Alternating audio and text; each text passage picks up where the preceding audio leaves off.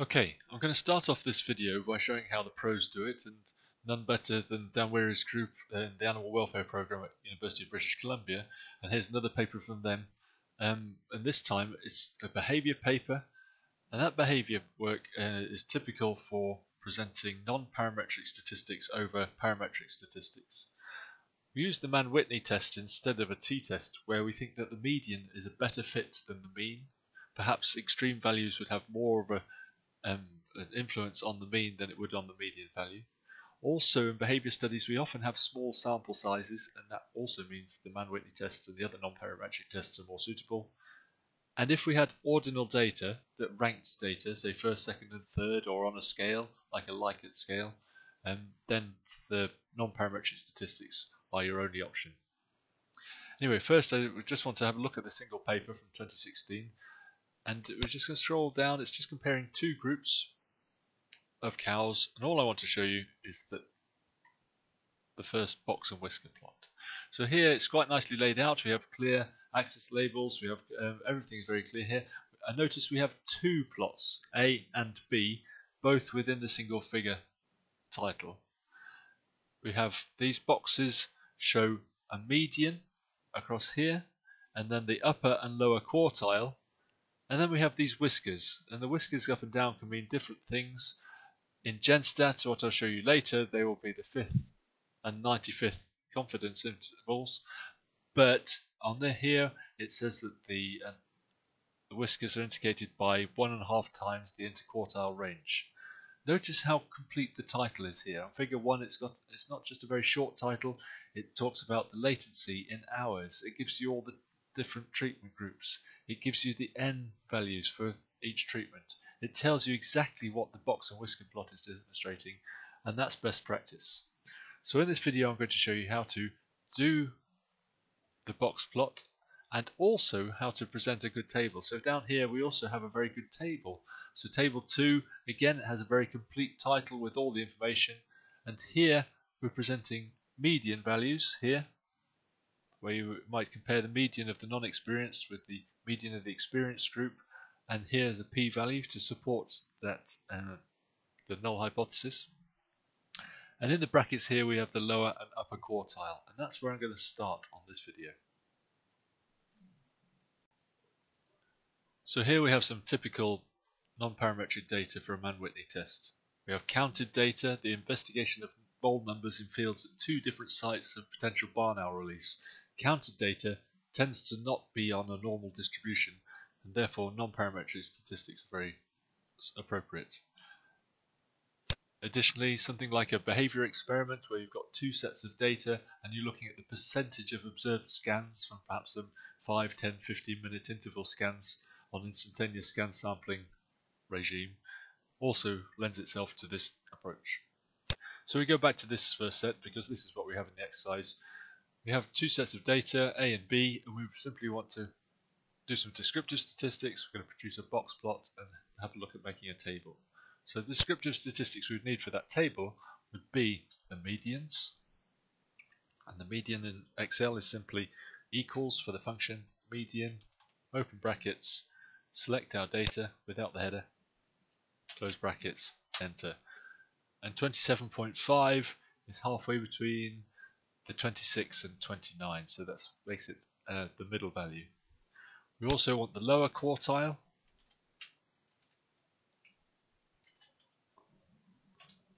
Just make that column a bit wider. And that is equals quartile open brackets and then it says array quart the array is the data set and quart is which quartile we want and we want quartile number one the lower quartile and for the upper quartile, which is our other statistic we want for that table, same again, equals quartile brackets. And this time we want quartile number 3. So not the median, but the third quartile, number 3. And that gives our data for the table. And the wonders of Excel means I can just select those data and I can do that, drag it across with the relative references. Let me just check that. I to expand the box to make that bigger. Click in the in the brackets, expand the box to cover the right data set. Again, expand the box to make the right data set. And there we have it. There's our data for our table. Now while Excel does graphs very well, one that it doesn't do very well is the box plot. You can do them, you can find some hacks online on how to do them, but actually they're much easier to do in GenStat. So I'm going to take the data in a normal way, I'm going to copy it top to bottom like this, including the single row heading. I'm going to right click copy, then I'm going to go to GenStat. This is the 19th edition, and as always, spread new from clipboard, press OK, and there's our data set waiting for us here. So we'll do the analysis in a moment, but here, just to, first we want to present a box plot. So that's from the graphics menu, graphics, box plot. And now I've got different ways of arranging the data. Here we've got very straightforward two columns. So I'm going to put in site A and site B. In the options, you can do this later if you double click the graph, but in the options, I don't want to put the graph in a box. Of course, you don't want a graph title at the top because you put that in Word later. And here, this is an important one that gets missed you want the box and whisker plot because it's much more straightforward to interpret in my way of thinking and it makes the title easier as well. So we're going to put that there. Here in the axis we can put our titles here. Um, we'll do that later. But here in the lower bound you want to have the axis starting at zero as always. Put all that together, press run, and we have the box plot. Okay, to edit this box plot, we're going to double click it. And it comes up in a sort of yellowish colour. And then we have our options. I'm just going to move that off to the side so I can see what we're doing. Here I've got five options, layout, key, x-axis and y-axis and graph options. While we're on graph options, uh, this is something that's interesting and that we've not done before. We can change the colour of our boxes. So here if instead of a line, first I have to select the data sets, and this is slightly complicated, you have to go with me with this one. We want box 1 and box 2 to change the colour. So box 1 here, change the method from line to fill, change the colour from here to, let's make it nice light blue. We can go for other colours if I wanted to, but I'm just going to go with these default ones. So I'm going to go nice light blue, press apply, and there you can see I've changed the colour of my box plot. If we go back to here, I can change box 2, the second box. At the moment, I want to, it's a line, I want to change that to a fill. I'm going to change that colour. Let's make it pink. Apply that. And there we have two coloured box plots. What else were we're missing? Well, we're missing a label here. So we're going to go to the y-axis here, and that was vole count. So I'm going to write that in there. I can actually play with the title font here based on our standards. Now Arial is probably what I'm using. I might want to make it a little bit bigger, so I'm going to go to Arial 10. Okay, and I might want to play with some of the other font sizes as well later on. Notice that the um, the site A, the site underscore A, and the site underscore B, that's come from whatever I called the column name in GenStat to begin with. So if you want to play with those, that's the place to do it. Press OK now. I have my vole count label, I have that there. There's my graphs ready to go. I can uh, save and close. And that's ready for me to copy and paste into Word.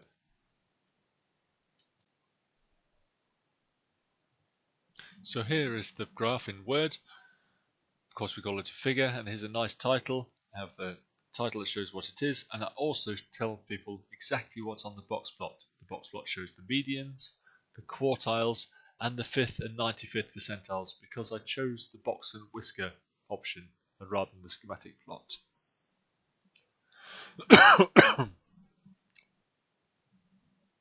okay, so I've got an axis label here, I've got some axis labels there, I can play with the font size to make it tidy up, but it's all there apart from one important thing.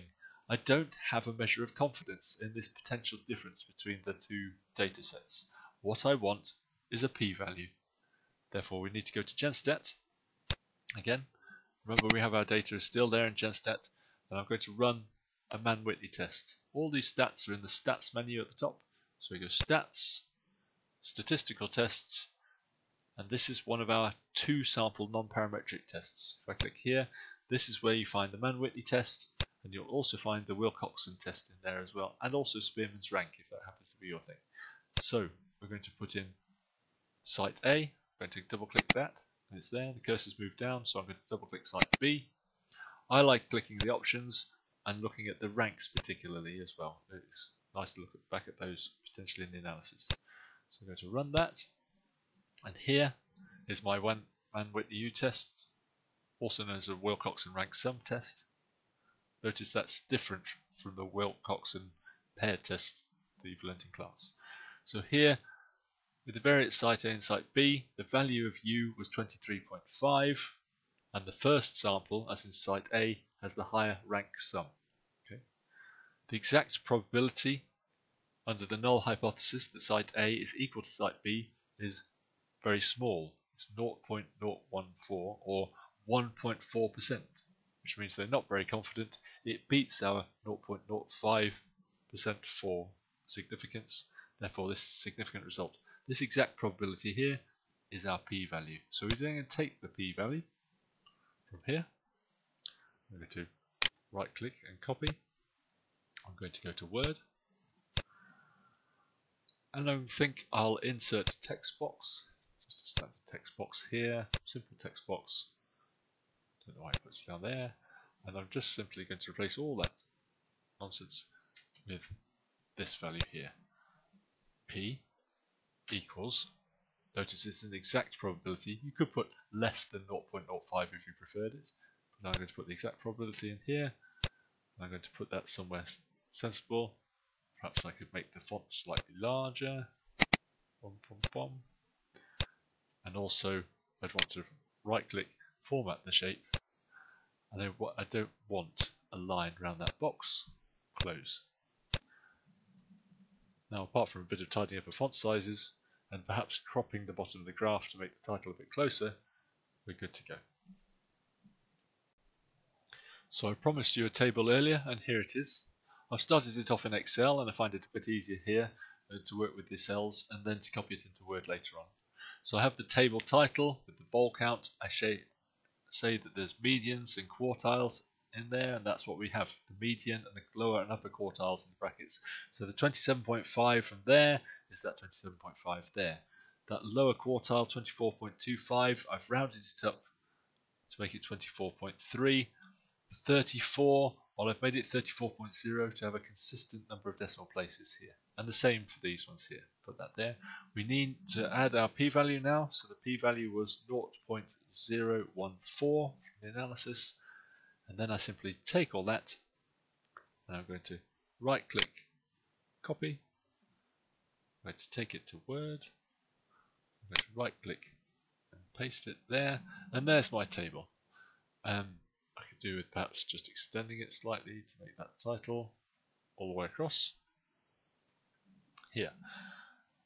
Now, as you'll recognize, um, the table is unlikely to be used if you've just got one piece of data. So if I was going to have a second piece of data, I'd right click, I'd insert a row below that one for another set of data, and I might do it again, insert another row below that one. So this might be variable 2 and this might be variable 3 if such data existed perhaps you have behavior and you have a whole load of behaviors that you want to present on a single table. You have that there. What you would want then is a line across the top. So this tool up here if we go to here we go add a top border. And we want to add a bottom border and then we simply want a bottom border underneath the table. Notice that there's no other dividing lines in there, certainly no vertical lines on the table. We'll have a look at that. Looks a bit complicated in, it, in the Word as we see it, but if we go to the print preview, you see it looks really nice and tidy. And there you have it, a graph and a table for the Mann-Whitney U-test.